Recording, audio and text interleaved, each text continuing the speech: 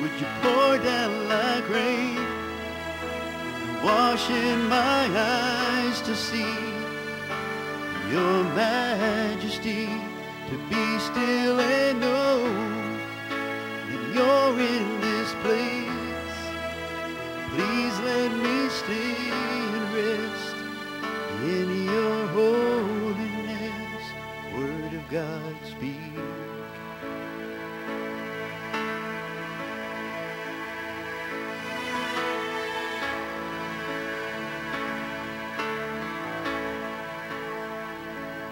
Finding myself in the midst of you, beyond the music,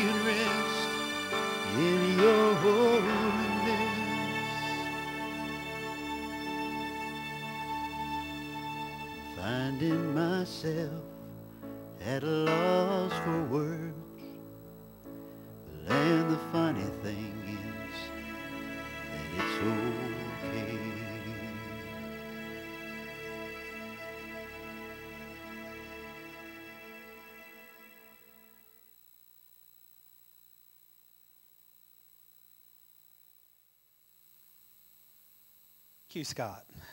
Happy New Year. Oh, are you guys awake yet? Let's try it. Happy New Year. All right, now it sounds a little bit more like a Happy New Year. So I hope it's uh, going well so far and look forward to a great, uh, great year in 2015. But we're glad that you've uh, chosen to come and worship with us. And just uh, for the record, that all of you so far that are here have perfect attendance for the year. Yay! So let's keep it up next week, and uh, let, us just take it week by week. So, but uh, we uh, do ask that you take a card from the seat in front of you, and please fill that out.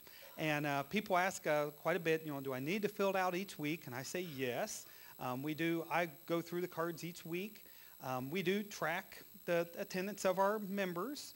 Um, not that you're going to get kicked out if you're not here enough, but um, we, we, it's a way that we can make sure if you're missing, um, you know that we missed you. And so we do look through those. If you're visiting, we like you to fill those out too so that we know that you're here. But we do go through those each week. So we, we do ask that everybody fill those, fills those out each week. If you don't fill it out, um, sometimes, you know, I see you guys and, you know, we're, we're good. But at some point, you're probably going to get a letter from us saying, you haven't filled a card out for a while. And you go, I've been there every week for 20 years. And say, you haven't filled a card out. So um, fill those out, and that, that just helps us keep track of everybody. A couple things we want to mention is that um, in the auditorium before the service sometime when they were picking stuff up, they found the key. So if you're missing the key or would like a key to somebody's house or something, um, come see me and it's going off to the highest bidder. No, uh, it, will be in on uh, Debbie's desk. Um, they found it here in the auditorium, so I'm um, not sure if it was someone first service, Sunday school, or what, but if you're missing the key, here it is. Uh, also, the poinsettias that are here, um, if you would like one after the service, feel free to take one. Uh, there's some of the extra ones we have, so if you can use them. uh, also, today, we've got several things uh, taking place. Uh, at 2 o'clock, uh, Kim King is going to be having her swearing-in service uh, here today, and the Lee Watts, the Kentucky General Assembly chaplain, will be bringing a message, but I invite you back to sharing that a swearing-in service for Kim. also, at 6 o'clock tonight, I'll be having a 101 class. And that's a class that if you've been visiting the church, uh, would like to find out uh, what we believe, how to be a member. Uh, we'll be meeting in the back room to my left, your right. And so I um, hope that you'll, uh, if you have questions, you'll come to that. Uh, youth group at 6.30. And then at 7 o'clock, uh, the elders will be here for the evening service, uh, sharing an update on our building program and where they're at in the process, what they're thinking, um, getting some input from the congregation on what, what thoughts you think in the, in the next building program. So plan to be here for se- at 7 for that. Children's choir will not start back up until uh, February 1st, so there will not be anything for the children tonight. Um, but make sure to look through the bulletin, uh, see the other things that are in there. Uh, the other thing that we ask is that uh, some of our shut-ins, we take them to bulletins each week. And, um, you know, that little outline in the middle is really helpful if you're here at the service because you can fill in the blanks. Um, when I hand it to the shut-ins, they look at it and they only get like half the sermon without the main points. So they've requested that if they could get some that are filled out. So um, if you could, um, fill those out during the service, and if it's not one that you write your notes on and, and want to take home with you, if you would like to fill that in for the shut-ins, please leave it on the Welcome Center after the service. And as they take communion to them and visit with them this week, they'll take those, and they've been really appreciating that. So um, I think that's all we have right now. Um, we've come to worship today, so let's have the worship team come on up. Let's all stand, and we'll open with a word of prayer. Heavenly Father, it's uh, wonderful to have a new year and uh, that we uh, see it as a time of fresh beginnings. And I'm so thankful that um, we're able to meet together in your house to uh, start this new year off uh, in a way of worshiping you. We ask your blessing upon the year. We ask your blessing upon this service. And we pray it all in Jesus' name. Amen. Good morning. Y'all are looking especially good today. How, raise your hand if you're wearing Christmas clothes today. Anybody got stuff on you got for Christmas? There's like five of us. All right, good. I say I'm just redneck enough. If you give me something, I'm gonna wear it the next day. I mean, because just add it to the repertoire. But you're looking especially good today. Let's worship the Lord together this morning. If you feel like clapping, clap along with this one.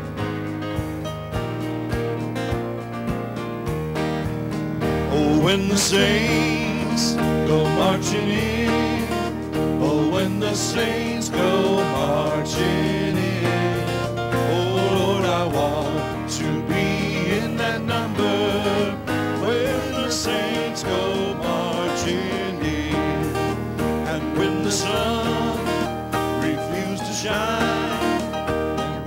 sun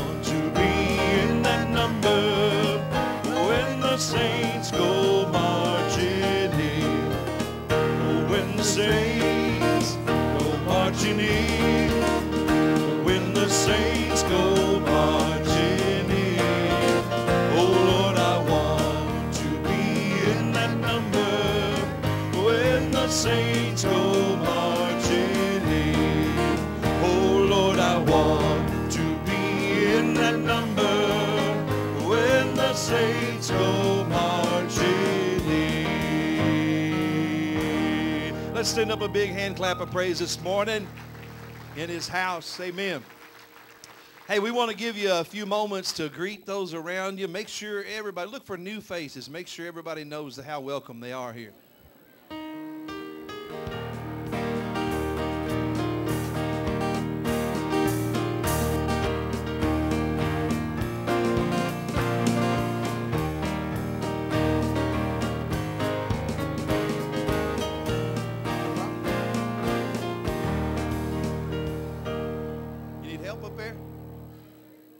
All right, if you would just remain standing.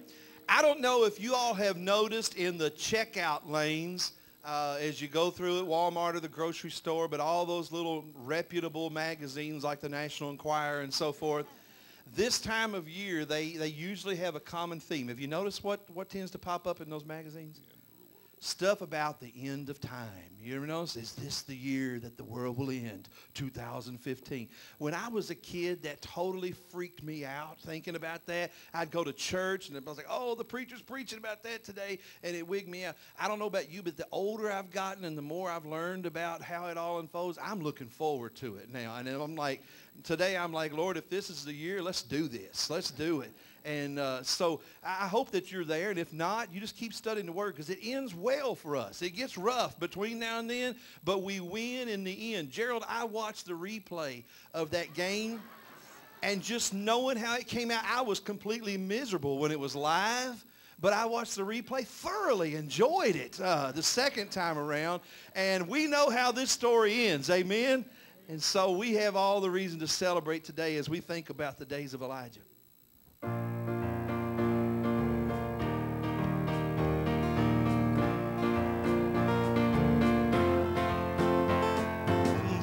These are the days of Elijah, declaring the word of the Lord.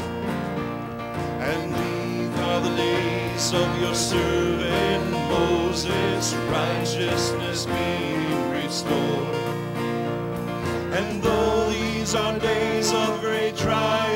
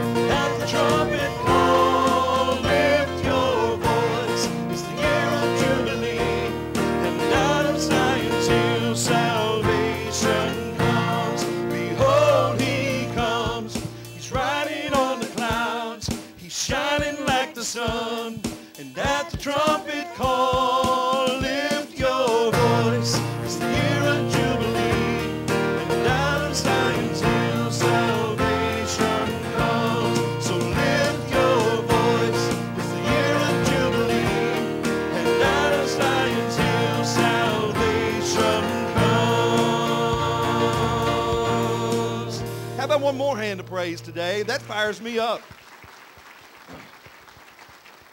Amen. You may be seated. You know, uh, for some, 2014 was a, was a great year, and I've, you know, I, I get on Facebook and watch things on Facebook, and uh, and some people reflected on 2014 at all the joys and the successes of the past year. But I also saw people lamenting that 2014 was a, a rough year, and it was for, for many people as well. Uh, 2015, we don't know yet what it's going to hold. But I do know one thing, that whether it's a mountaintop or whether it's filled with valleys, that either way, I need the Lord. Amen? And uh, there's times when we're more aware of our need for the Lord than others. But maybe especially when you're on that mountaintop. And if you can't handle the mountaintop, uh, you're going to realize pretty quickly how you need the Lord. I love this next song because it expresses uh, directly something that all of us need to acknowledge is that on the mountaintops or in the valleys or whether you're somewhere in between right now, every hour of every day, we need the Lord.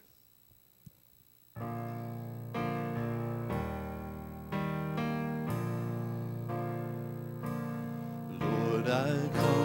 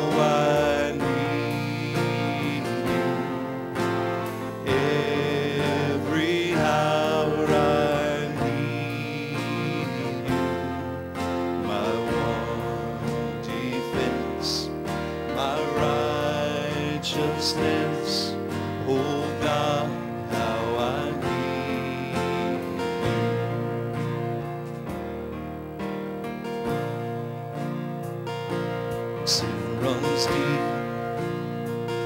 Your grace is more.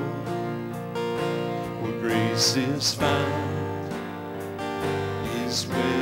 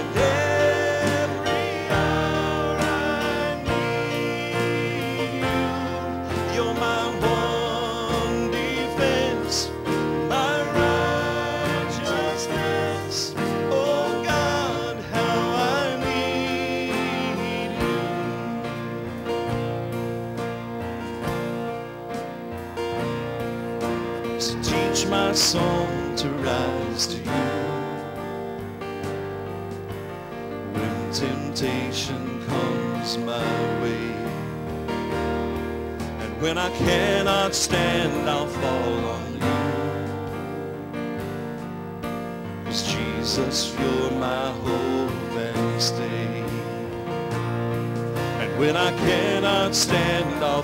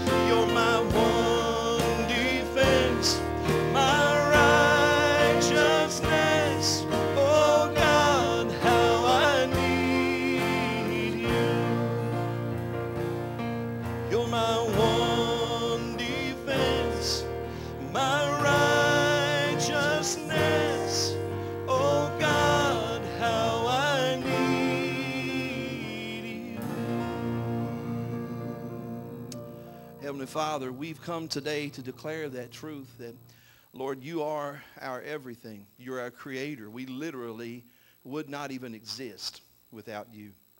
But Lord, even more than that, you're our sustainer. Father, forgive us for the times that we've tried to sustain ourselves, the times that we have thought arrogantly, Lord, that we've got this, that we've got this all figured out and have charted our own course through this life, ignoring you and your wisdom that calls out through your, your word of truth. Father, many of us have learned the hard way that that doesn't always work. Father, we come today willingly to say that we need you. We need your wisdom to guide us through the valleys of life. Lord, we need your wisdom to help us stand on the mountaintops without building false sense of pride or uh, self-sufficiency, Lord. But Father, in both cases, the mountaintops and valleys and the places in between, help us to realize that we need you. And to come today, as we do in gathering around your table today, to declare that we need you for eternal life. We can't be good enough on our own. Uh, we haven't done enough to offset the bad or all the other philosophies of this day, Lord. We just need you. We need Jesus Christ for his blood to atone for our sins, for your Holy Spirit to come and to do within us what we can't do on our own. And Father, for strength to face each day one day at a time, we, we need you. So in these next few moments, Lord, we just declare our dependence upon you. But Father, at the same time, thank you for the confidence that you give us by telling us that greater is he that is in us than he that's in this world. And if, if we truly have you in our lives, there's nothing of this world, no person of this world that can, can touch us and take what we have within us. Thank you, Lord, for your Holy Spirit and your all-sufficiency. We have everything that we need. Thank you for that. In Jesus' name we pray. Amen. Today, as, as we head into a time of, of communion, we invite you to come and bring all of your sins, your hang-ups, and all those things that maybe you've thought about this time of year, especially as we think about resolutions and changes we want to make. Bring all that junk and, and let's bring it to the Lord's table and let's confess it and just own who we are and lay it down. But also be assured that his blood washes us clean. He wants to us to enter 2015 and enter the rest of this day with the assurance that he wants to place his spirit and make us right on the inside out so that we can live with confidence of who he is in us. Uh, these next few moments, we're, we're, this is open to all baptized believers in Christ as we celebrate what we have through Jesus Christ today, through the emblems of his, of his body. Let's, let's enter into communion together.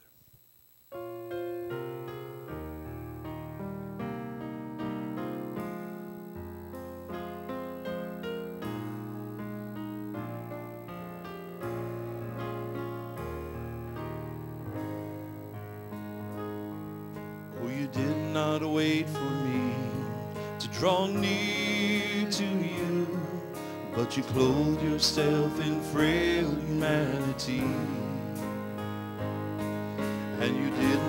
Wait for me to cry out to you, but you let me hear your voice calling me,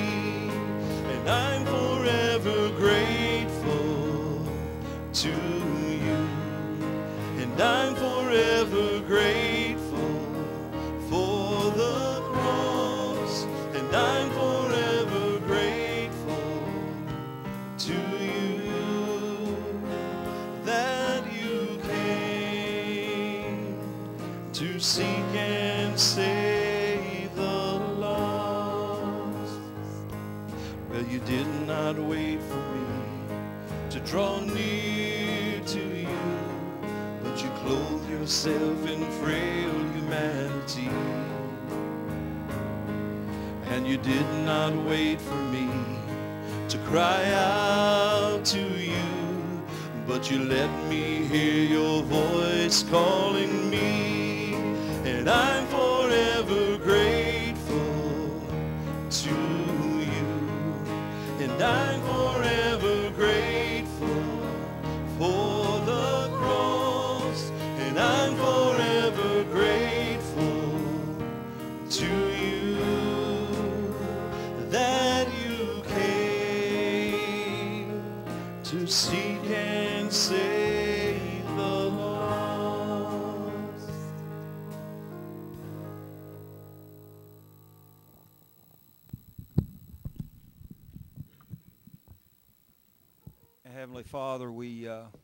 grateful this morning that you gave your, uh, your son Jesus to die on the cross for us, that, uh, to do what we could not do, Father. Lord, we love you for that. And, and I pray, Lord, that then that our only response to that would be to live a life of humility and love, compassion for others. And Lord, to love you with a full heart by showing our gratitude. Lord, when you're grateful for something, you show, and we thank you, God, for all that you do for us. Lord, may we put aside the cares of the world just now and pay homage to the one that paved the way for us. And Lord, uh, we have so much to be grateful for. And Lord, as we go through another year, I pray we'd do it with the recognition that uh, we've been given so much. And I pray that we would show by our very lives, God, that we do appreciate that. So, Father, be with us. Protect us. Keep us safe in all that we do. And as we put aside the cares of the world for a few moments, Father, we do thank you. We love you. And we pray all this in Jesus' name. Amen.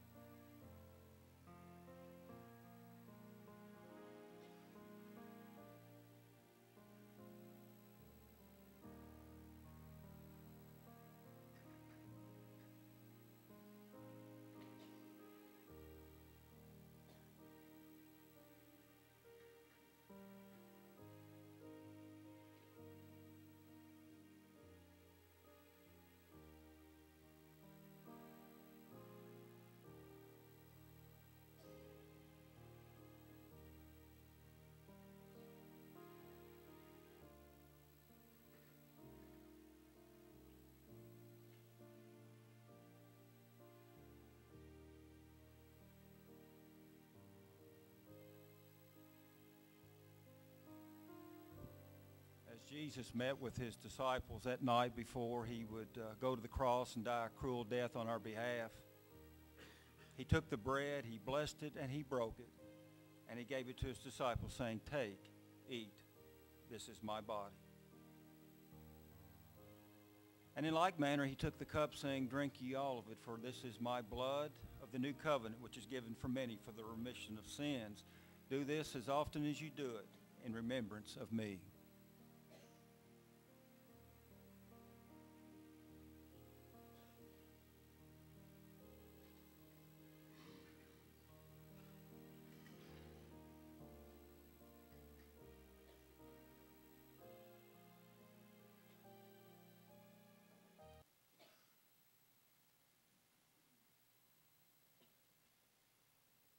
Let's pray. Dear Heavenly Father, thank you this time we come together and worship in your house. Please be with Brother Greg as he brings us your message. Watch over us, keep us safe, and uh, please bless this offering for the kingdom of your here on earth. All these things we ask in your precious heavenly name. Amen.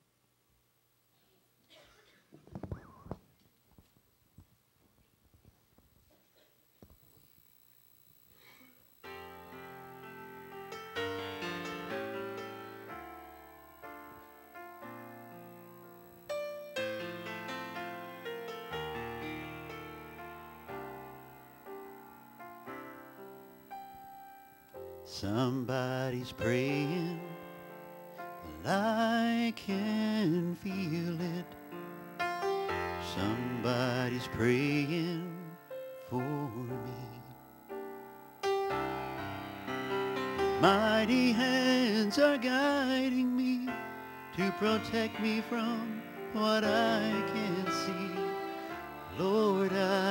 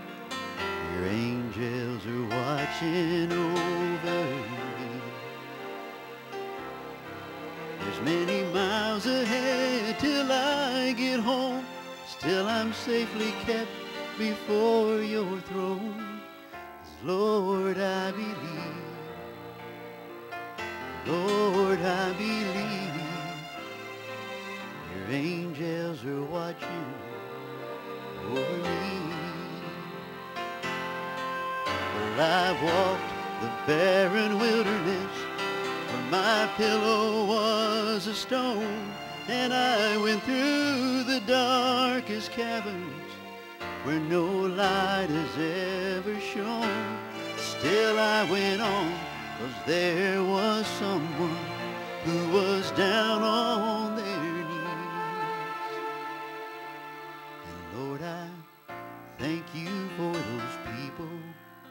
praying all this time.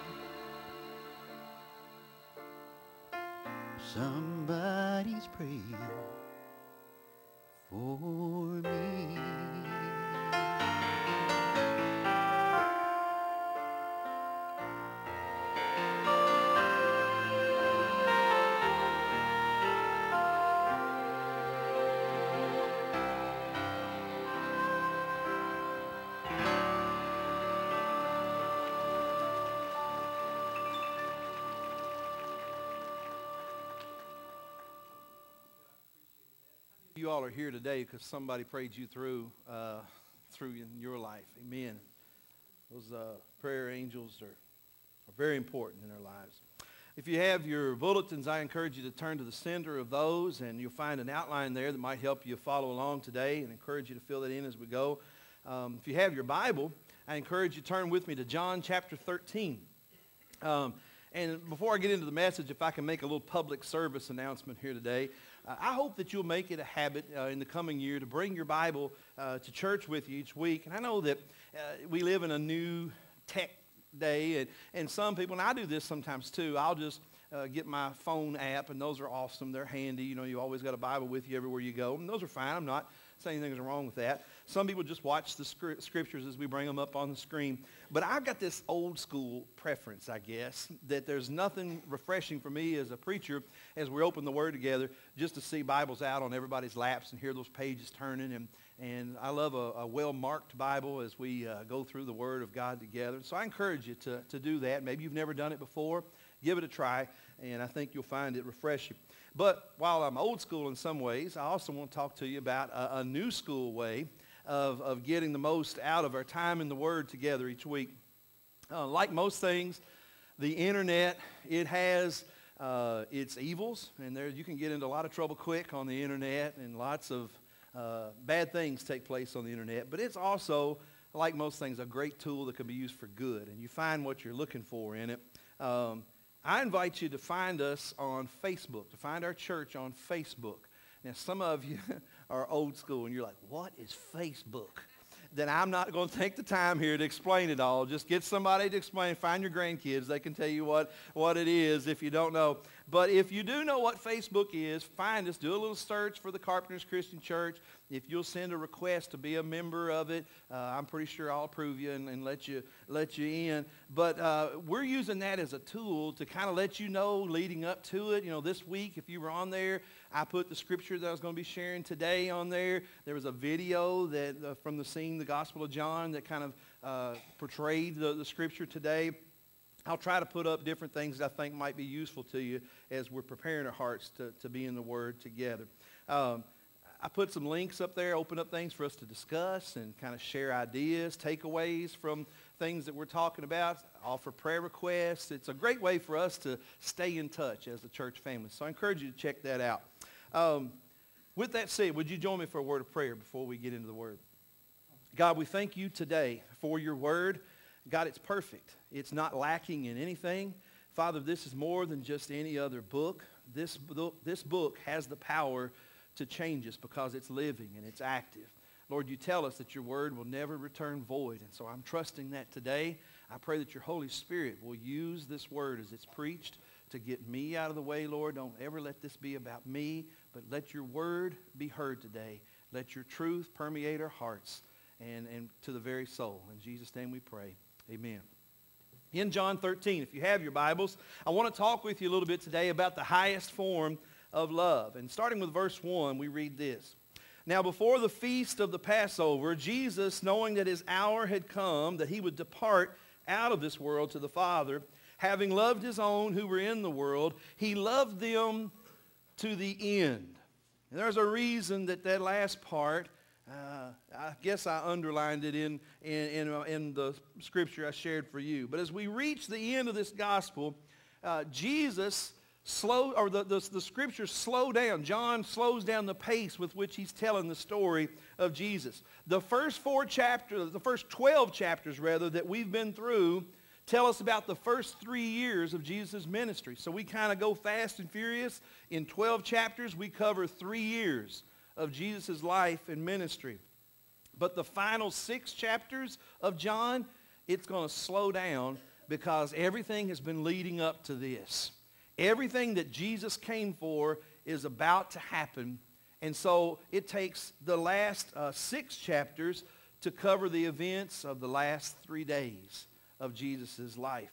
And as Passover approaches, Jesus knows that the time of his death has come.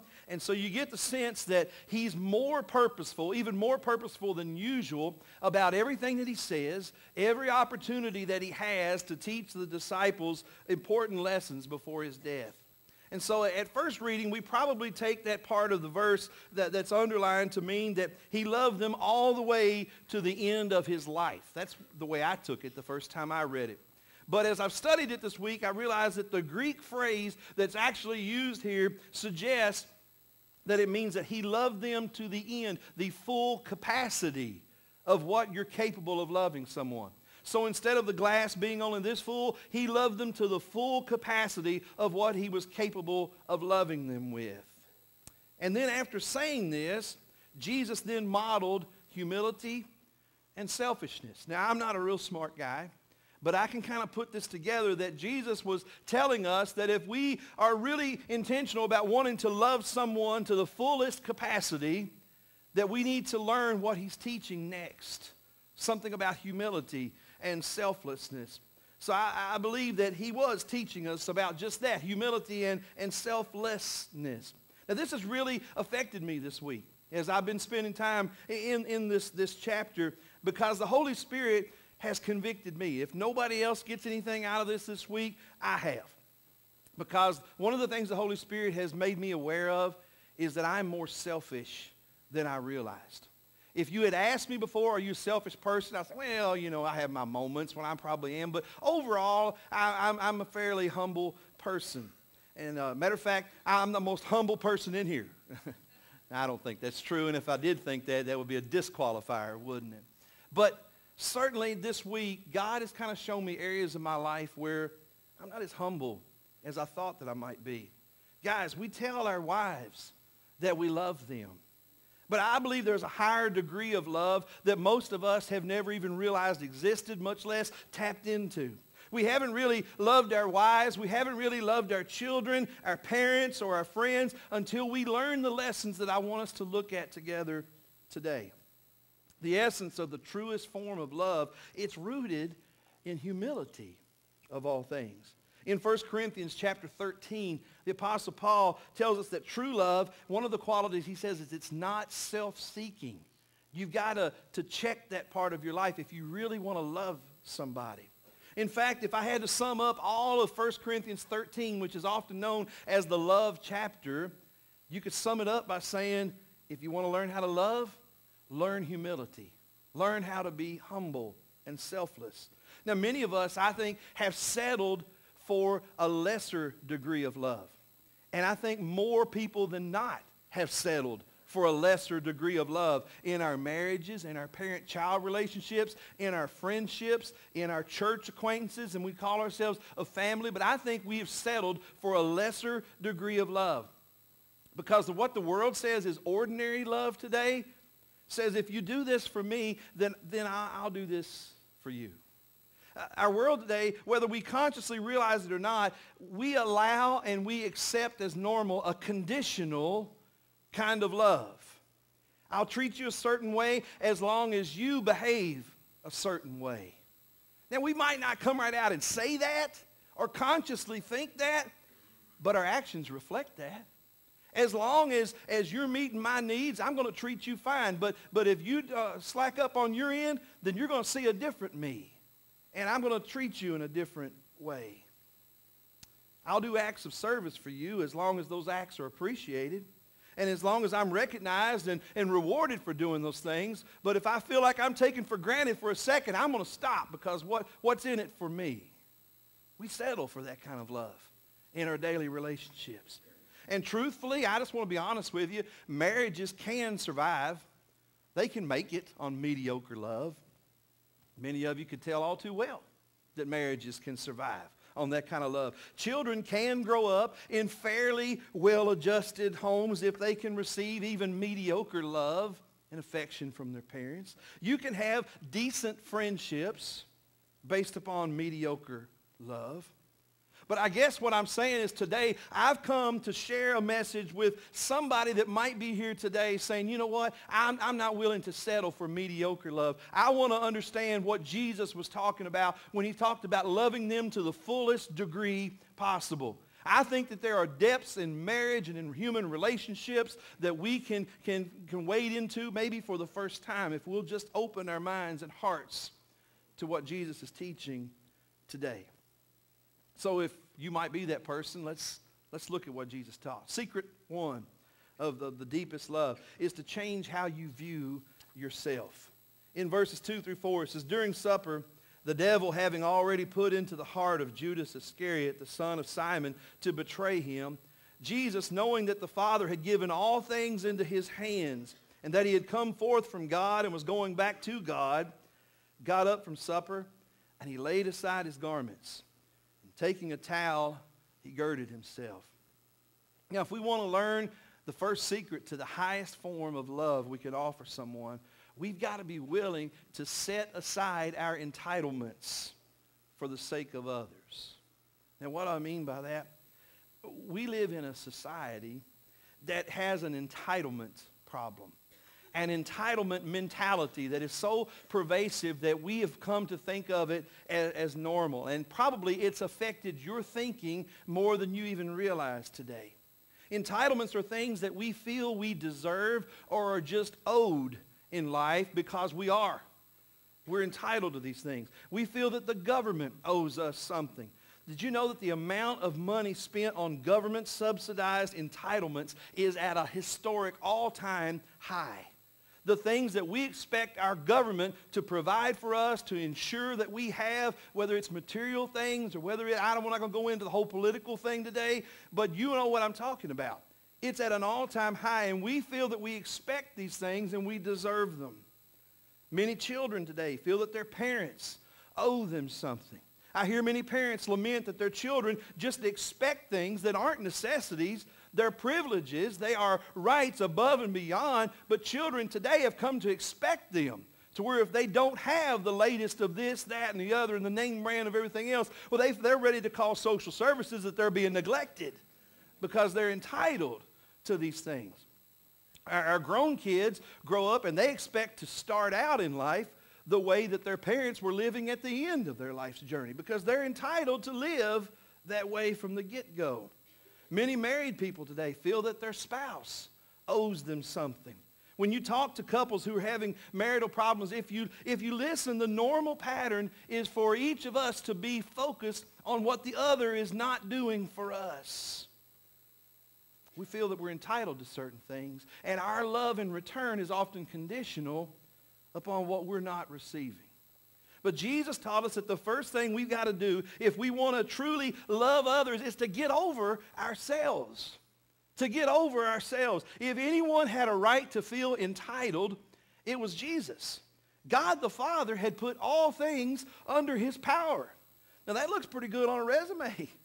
What, what's your qualifications for this job? Well, God has put all things under my power. Okay, I think you're qualified. You can do this. Jesus could only, he was the only one that could make this claim.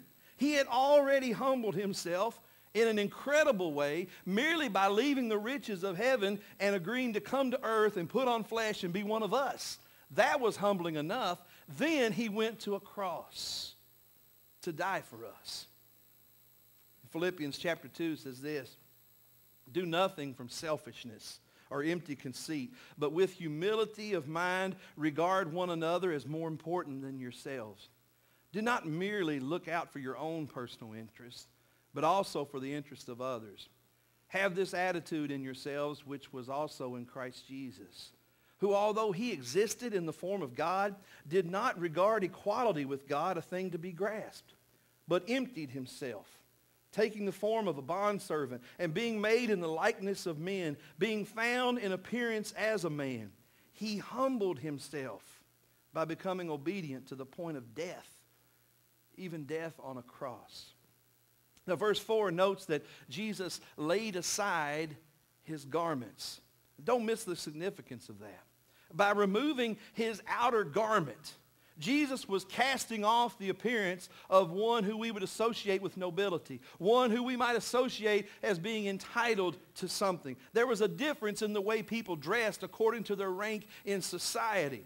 Instead, he took off his outer garments that implied entitlement, and he merely wrapped himself with a towel, we would call it, looking in, in all aspects as a servant they typically saw in that day. If you want to learn how to truly love others, Jesus taught us you got to get over yourself first. Learn to quit looking at others merely in terms of what they can do for you But start thinking in life and looking through a different lens and thinking of how you can bless others. Get over yourself. Secret two, actions speak louder than words. Verse 5 says, Then he poured water into the basin and began to wash the disciples' feet and to wipe them with the towel with which he was girded. Now, foot washing was a common thing in the society of Jesus' day. People traveled mostly on foot across dusty roads in a desert environment, and when you got to someone's house, your feet were nasty. Or as my wife would say it, nasty. Uh, when it's really dirty, it's nasty. It's beyond just nasty. And when you got there, it was common for your feet to need to be washed before you just walked into someone's home. Now today, in our context, we might take our shoes off. If we're going into somebody's house, especially if they've got new carpet or they're clean freaks, you know, you're going to take your shoes off just as a sign of courtesy before you go in and carry in all that outside stuff onto their flooring, whatever it might be.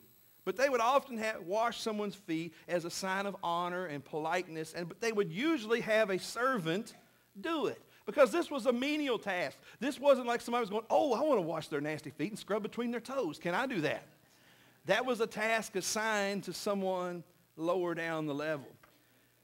But by washing the disciples' feet himself, Jesus was demonstrating the power of humble love in action.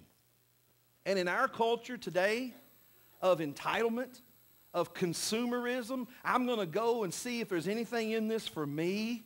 But if not, I'm out of here. In our day of, of what's in it for me, of demonstrations of humble love like this, where we look at something and we say, what can I do to be a blessing to somebody else? That stands out like a healthy thumb in a world of consumerism. You know, if you look close enough, though, you can still find it alive and well today. I've thought a lot about this this week, and I'm so proud of so many of you that still have that servant's heart.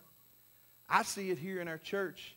And I look in places like the, the nursery where there are volunteers that have maybe felt uh, uh, a, a fool with their own kids all week long, but then they come and they give of their time to watch other people's kids so that we can come in and focus on worship and hearing from the Lord. And they give of themselves with a servant's heart. I see it on display when I observe caregivers in our church selflessly caring for a, a spouse, a parent, or another family member who needs them. They don't get paid. They don't have parades held in their honor, but they do it faithfully with a servant's heart. I see it on display when we pack shoe boxes and we, we send them to children that we probably will never meet to make sure that they have something to open on Christmas and that they know what the love of Jesus is all about. I see it on display when we serve meals and we donate items and we build relationships with people purposefully that we might not ever come into contact with otherwise. I still see it on display when a number of you give of your time to assist or care for people who you know can't give you anything in return. But you give anyway. It's not dead. It's still alive today. You just got to look for it a little harder maybe than you used to. The third principle I want to share with you is that we, we earn the right to lead by serving. During the American Revolution, a man in civilian clothes rode past a group of soldiers who were repairing a small defensive barrier. Their leader was shouting instructions, but he made no attempt to get down from his horse and, and to go help them. And as the man in civilian clothes went by, he asked the leader, he says, why, why, are, you not, why are you not helping them? He says, Sir, I am a corporal. Well, the stranger apologized and dismounted, and he got down to help the exhausted soldiers himself. After the job was done, he, he turned to the corporal and he said, Mr. Corporal, next time you have a job like this and there's not enough men to do it, come to your commander-in-chief, and I'll be glad to help you again. That man was none other than George Washington himself, who history tells his men would fight for him to the very death because they respected him because he led by example. Earlier, the disciples had been arguing over which of them would be the greatest in the kingdom of heaven. They jockeyed for position around the table whenever they would have gatherings like this to see who would have the most status and get to sit the closest to Jesus. And they argued about, and when his kingdom came, who would be the greatest and who would have the highest status. But Jesus knew what they were thinking. And I think that's why he was purposeful in his final days of life here on earth to teach them this lesson. In John 13, we read on down in verses 12 through 17. When he had finished washing their feet, he put, he put on his clothes and he returned to his place. And he said, do you understand what I've done for you? He asked them. You call me teacher and Lord, and, and rightly so, for that's what I am. But now that I, your Lord and teacher, have washed your feet, you should also wash one another's feet. I've set you an example that you should do as I've done for you. Very truly, I tell you, no servant is greater than his master, nor is a messenger greater than the one who sent him. Now that you know these things, you'll be blessed if you do them. He didn't just say they'll be blessed if you serve them. He said you'll be blessed if you serve in this way. Leadership is not something that we lord over others, or it shouldn't be. Rather, you start with the most menial of tasks and you blaze the way yourself, and then you encourage others to do likewise. You don't guilt or intimidate other people into doing the right thing, but you consistently do it yourself, parents, and you model it by example. You don't nag other people into doing what you wish they would do, but you selflessly serve until they see your example and they desire to reciprocate it. Now, does it always happen just nice, neat, and perfectly? No. There are some people that still do not see it, and it does not move them to reciprocate. But remember, we're over ourselves. We're going to do it anyway. We're going to do it anyway. You don't walk into a family, a business, or a team and demand respect. You earn respect by becoming a servant of all. Mark 10, 45, for even the Son of Man did not come to be served, but to serve and to give his life as a ransom for many. Most people will go out of their way to follow that kind of leader. Guys, most wives will have no problem submitting to that kind of leadership in the home. We can talk about how the Bible commands us to uh, wives to submit to their husbands and women get all tore. What do you mean submit? I have never yet met a couple who the, where the husband led the home in this way through servant leadership and found a wife who had a problem submitting to him. I've never seen it because he understands the fullest extent of how to love his wife. Bosses, most employees will gladly work hard for a boss that leads in this fashion. That doesn't just sit in an office and tell those that work under him or her what should be done or how to do it, but is out on the front lines rolling up their sleeves and leading by example and being a team player and asking if anyone will work with them instead of just under them. Parents.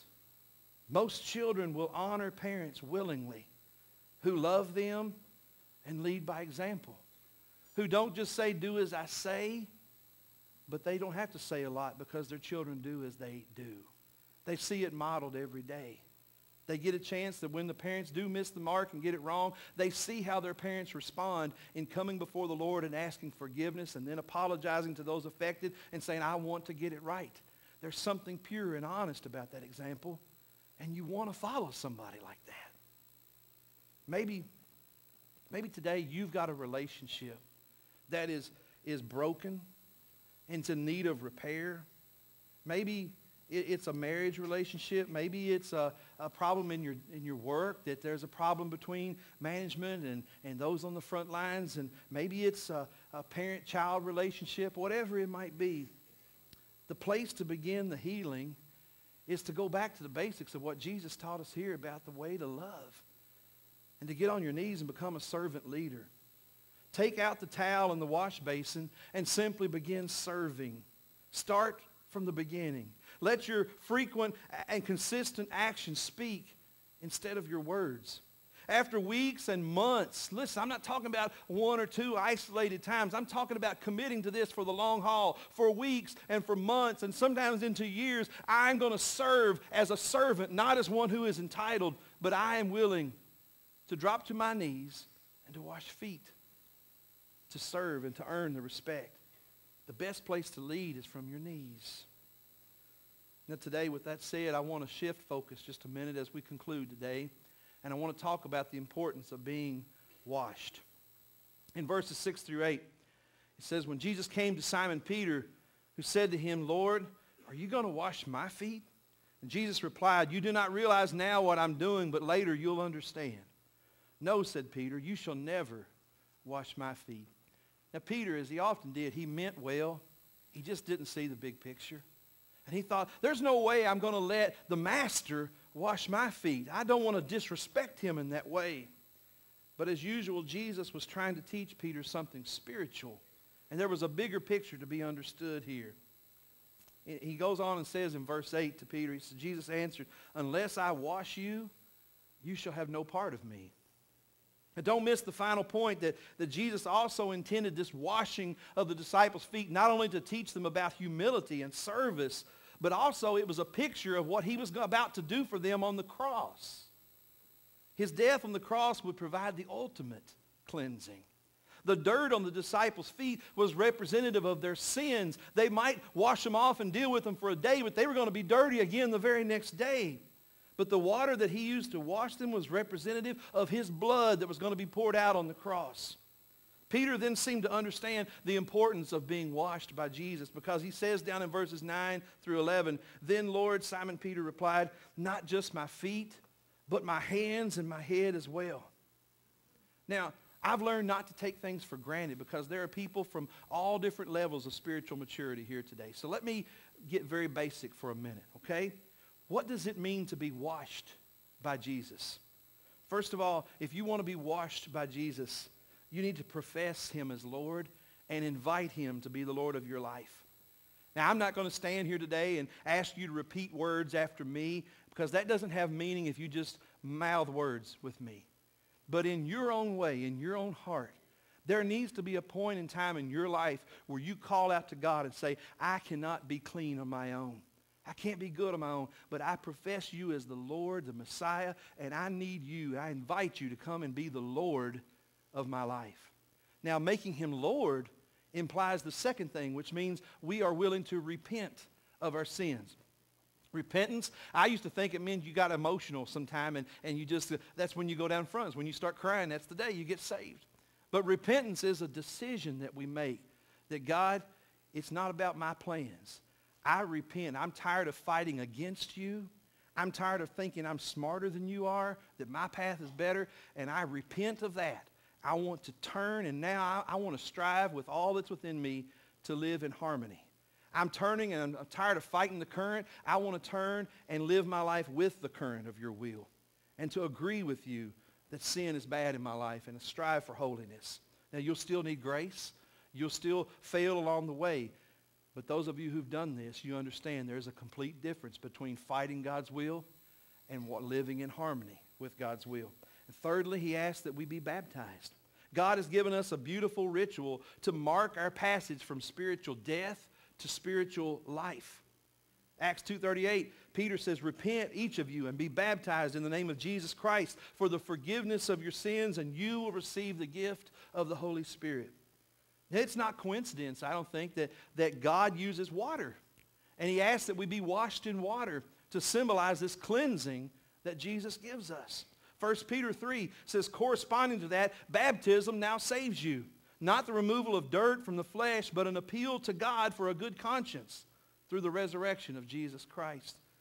It comes back to the water. Jesus also explained that there is a difference, final point.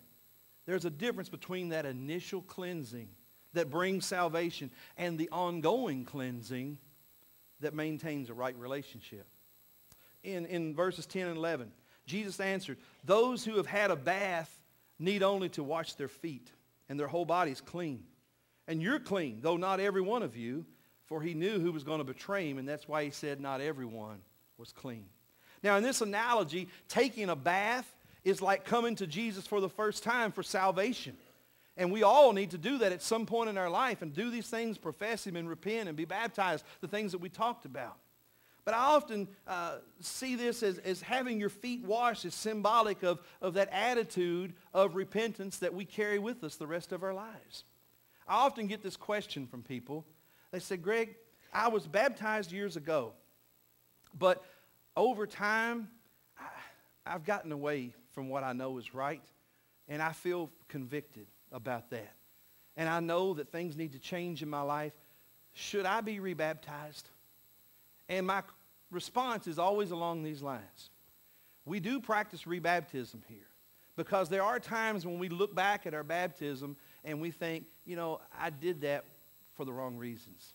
I don't even remember doing that. Uh, maybe I was at camp and everybody was being baptized and I did it, or I just thought it was a novel thing to do and a certain age, so I thought, well, I'll be baptized. But I didn't really have an appreciation. Listen, there's nothing magical about the water itself without the inward commitment of your heart. And so I do believe it's important for our inward intent of our heart to match the act of baptism itself. But then there are also people who, who knew what they were doing, who made that commitment to Christ, but somewhere along their life's journey, they just kind of got lukewarm in their faith, and it wasn't that important to them, and they kind of strayed, and sometimes we call it backsliding in their lives, and, and they just kind of drifted spiritually. And then they reached a point of conviction where the Holy Spirit brought them back to where they needed to be all along. And in that case, I think God's grace reaches that person. You don't necessarily have to be rebaptized. You just come back to the original commitment that you made. And so I hope that that helps some of you because I know that that's, that's asked frequently around here. And some of you, if you pray about it and you feel the Lord is saying, I want to mark this new beginning. I want to be rebaptized and I want to pledge this commitment as if for the first time, then that's something we'll do. There's, the scripture does not say that we can't do that. But also some of you that say, I just want to come back to the commitment I made and return. The Lord would be honored by that. His grace reaches you where you are today. So today, as we think about this whole idea of being washed, perhaps there's someone here today that has never professed Jesus as the Lord of their life. You've never reached a point where you invited him to come and be your Lord and your Savior. Maybe you have strayed away from that commitment and you feel the Holy Spirit speaking to you as if it's just me and you in this room today. And the Spirit is making it plain to you. Come back home. We invite you to come today and to share that decision because when we stand before a family of believers, there's accountability with that, and that accountability is so powerful. People that will pray for you, but people that will also hold you accountable to sticking with that. And we need that along the way as well. Maybe you come today wanting to join this church family. We'd welcome you with open arms. Whatever is the decision that the Spirit is leading you to make, find the courage to come and make that today as we offer this invitation to you today. Let's stand together.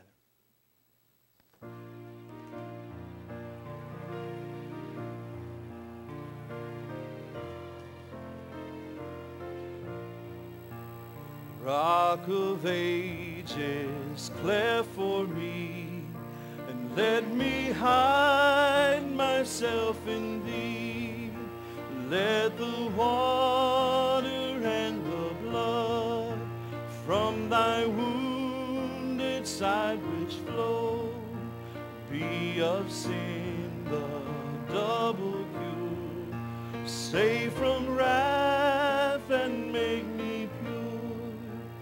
Nothing in my hand I bring, but simply to the cross I cling.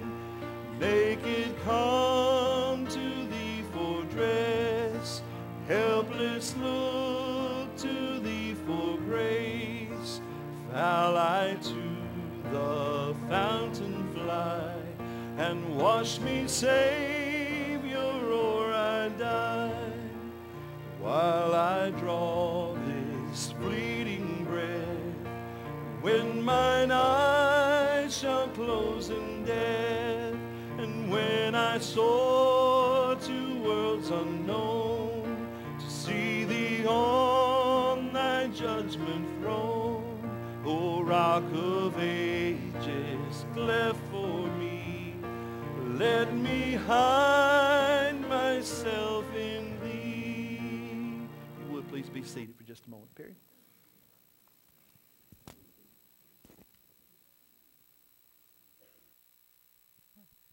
This is this is uh, Angel Timmons, and uh, she's come up this morning. She said, "I want to do that today," and I said, "All right." She wants to make herself right, and uh, she wants to make that confession and be baptized today. And and let's let her know that's a great idea.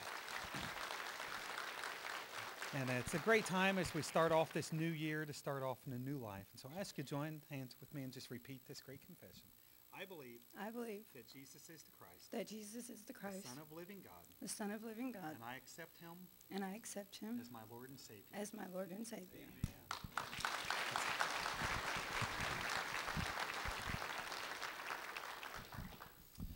Amen. What a way to end end the service today. And I know there's a lot of uh, people rejoicing with those angels of heaven uh, today. It never gets old, does it? Yeah, it's good that you guys get to see this too, leading the way, isn't she? That's your mom, I know. That's right. That's awesome. Um, to, just want to take this minute while they're preparing for this baptism uh, to make you aware of a few things. Just remember that tonight we invite you back at 7. If you've been seeing that thermometer out there in the uh, lobby and knowing that we're paying down on something, we are trying to pay down our debt load to a responsible level. And maybe you wonder, what's going on with the building program? haven't heard anything about that in a while. Well, tonight we want to bring you up to speed. So if you'll come out tonight at 7, we want to share. We know not everybody is interested in hanging around to hear all about that this morning. But if you are interested, come back tonight. We're going to ask the people that are here, go out and talk about this and share. Uh, so we'll answer any questions you might have. We want to hear your input and your thoughts. This is a decision that our elders are taking very, very seriously because it's not our money. It's the Lord's money, and we want to make sure we use it in a way that he would have us to use it, and we um, accomplish the most possible for his kingdom. So we want your input in that process. Uh, so that's tonight at 7. I know youth. Jacob, you here? I saw you earlier. Upstairs. Jacob, anything for about youth tonight? 6.30? 6.30. What's on the menu? Should I come back early? pizza. It'll be pizza tonight. Um, my wife's out of town. I can't. I'd be the same way, brother. We go to Lee's when my wife's out of town. Um, but tonight at 6.30, come out for that. I know the children, they're taking a break from January to catch their breath from all the Christmas stuff, but then starting in February, uh, they'll be back to that. If you're wondering what I'm doing now, this is called stalling uh, for time. And so I am uh, purposely talking more than usual today. But I thank you for coming. If you are visiting with us today, uh, it was our intention to make you feel welcome. If we failed in that, please forgive us. We are very interested in you and hope that you felt at home today uh, and welcome and hope to see you again next week. Uh, the new year is a great time to start new habits. And one of the best habits that you can do for your spiritual life is what you've done today by being in the Lord's house. Does going to church make you a, a Christian? It doesn't, uh, but it sure helps. It sure helps. And we live in a day and age when uh, people tend to say, I, I just need Jesus. I don't need the church. Uh, maybe on some technical level you could make a case, but I haven't seen too many thriving Christians that didn't choose to be a part of a body of believers. I know that I need the accountability you all give me, um, and I need the prayers that you all pray for me, the support that you all give me, and uh, I also need an opportunity to serve and to share my gifts and to, to bless you as well. And that's a beautiful thing that the Lord had in mind when he put his church together. They are ready, so I'm going to hush.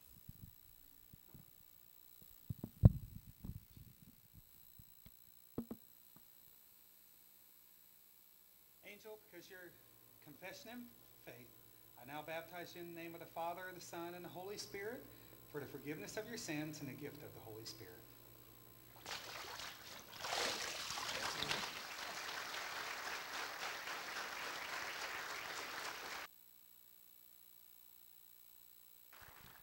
Amen.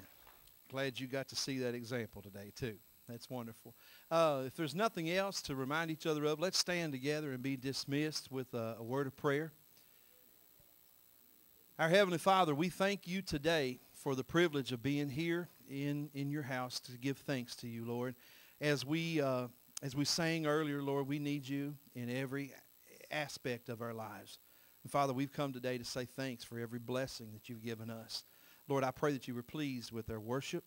I pray that you were pleased uh, not because of the cleverness of anything we've done here today, Lord, but by the sincerity and the repentance of the hearts of the people that have gathered to worship you. Lord, help us to be servants.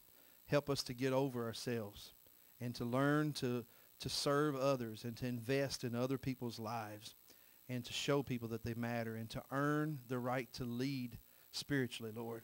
I pray that you'll forgive us where we fall short. Thank you for your grace and for new beginnings and fresh starts. And God, I thank you for your Holy Spirit that does within us what we can't do for ourselves. We love you, and it's in that confidence that we now leave this place. Although we the service is ended, Lord, our fellowship with you goes on. And may we be a light everywhere we go this week. Bring us back at the next appointed time. In Jesus' name we pray. Amen.